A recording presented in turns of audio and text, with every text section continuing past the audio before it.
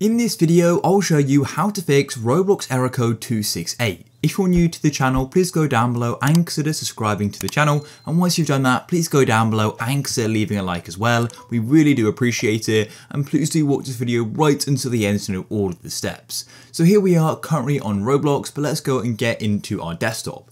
So the first thing you want to go and do is it's something quite basic, but all you want to do is go and try and restart your computer. You probably already tried that, but it's just one of the most basic things you can go and do to go and see if that helps. However, if it doesn't, then the next thing you want to go and do is, is open up your file explorer. So here we are, and all you want to do is go into your local disk, then you want to go and click on users, then you want to go and locate your name, so mine is Rob. Then once you're on your user, all you want to do is go and click on view, and then you need to go and enable hidden items, just like so. Then you're going to go and see this folder here called app data, so double click on that.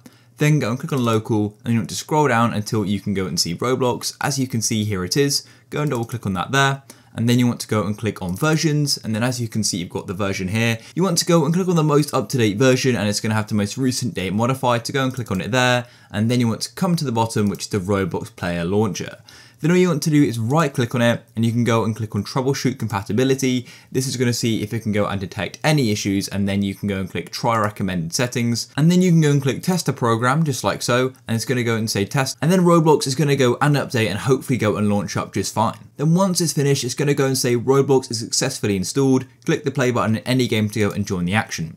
So you can go and click OK and then you can go and click on next and then you can go and click cancel. Then you'll notice this folder is empty so you can go and click on versions up here and as you can see there's a brand new one. However, if that still hasn't worked, then all you want to do is go and locate Roblox Player Launcher, click on it once and right click on it, and you want to go down to properties at the bottom, then we're going to go and drag this up for you guys. Then you need to go and click on compatibility here. Then you need to go and locate compatibility mode and you need to go and select run this program in compatibility mode 4. Click here and then you want to go and change this to Windows 7. Click there and then you need to come to the bottom and go and click apply. Then you can press OK. Then you can go and try and launch it from going and clicking play on a Minecraft game. However, if you've gone and tried those steps and it still isn't working, the best thing you can go and do is, is fully reinstall Roblox. So to go and do that, go and click on the Windows logo in the bottom left and then go and click on the settings cog.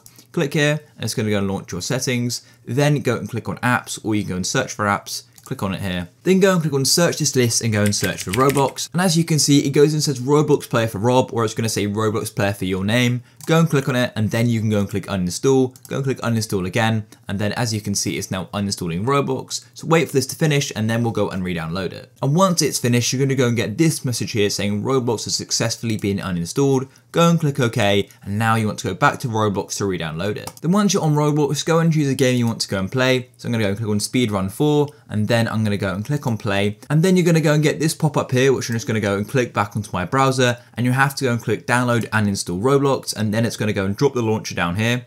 So you want to go and click on it once and then it's going to go and say connecting to Roblox and it's going to go and start the full install process so you can sit back and relax while it goes and installs. Then it will say Roblox is successfully installed and you can then go and get into your game. So press OK and then you can go and click join again and Roblox is going to go and launch into your game. If you found this video useful and it did go and fix the Roblox error code, please go down below and consider subscribing to the channel. Leave a like for more. Peace.